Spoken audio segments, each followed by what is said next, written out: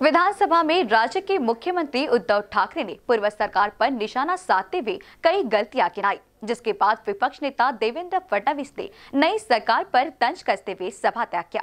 सभा त्याग के बाद उन्होंने सदन के बाहर मीडिया से रूबरू हुए। राज्यपालांच्या अभिभाषणावर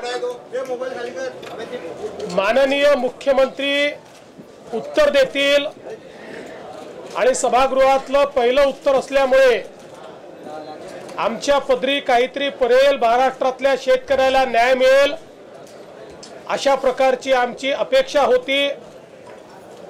पण माननीय मुख्यमंत्री महोदय हे विसरले की सभागृहामध्ये ते भाषण करतायत.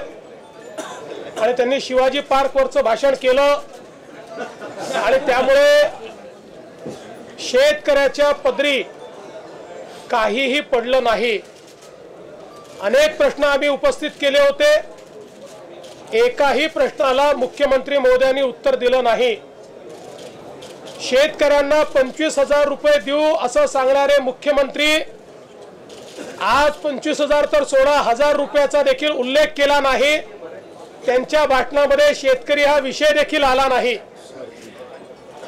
या ठिकाणी मराठा समाजाच्या आरक्षणाचा प्रश्न असेल सारथी बंद करायचं षडयंत्र असेल. स्वातंत्र्यवीर सावरकरांच्या संदर्भात आम्ही उपस्थित केलेले मुद्दे असतील. सगळ्या मुद्द्यांना त्यांनी बगल दिली. सगळ्या मुद्द्यांना बगल दिली तरी चालेल. पण आमची एकच अपेक्षा त्यांच्याकडनं होती की त्यांनी स्वतः आणि ते असं म्हणतात आम्ही वचन देतो.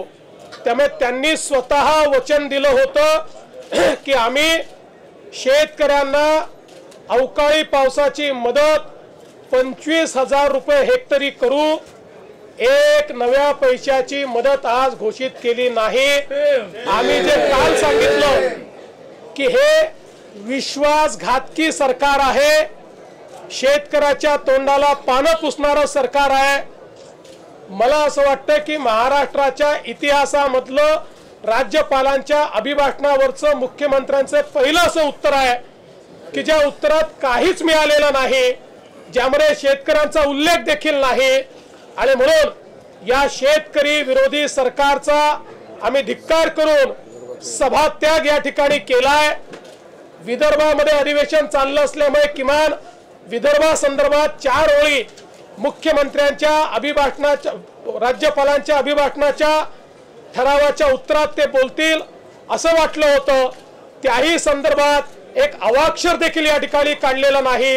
याचा अर्थ सध्या मुख्यमंत्री केवळ खुर्ची वाचवण्याची कवायत करतायत आणि त्याकरता आपल्या बाजूला बसलेले जे दोन पक्ष आहेत त्यांची खुसमस्करी कशी करता येईल त्यांना कसं खुश ठेवता येईल ते नाराज होणार नाही असे स्टेटमेंट कसे टाळता येतील या संपूर्ण दोरीवरच्या सरकसीमुळे मुख्यमंत्र्यांना शेतकऱ्याकडे लक्ष द्यायला वेळ उरलेला नाही.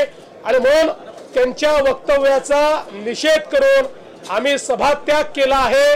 आज खऱ्या अर्थानं महाराष्ट्रातल्या विदर्भातल्या शेतकऱ्यांकरता आजचं भाषण हे अक्षरशः काळ्या दिवसासारखं आहे की ज्यांनी त्यांच्या तोंडाला पानं पुसली आहेत.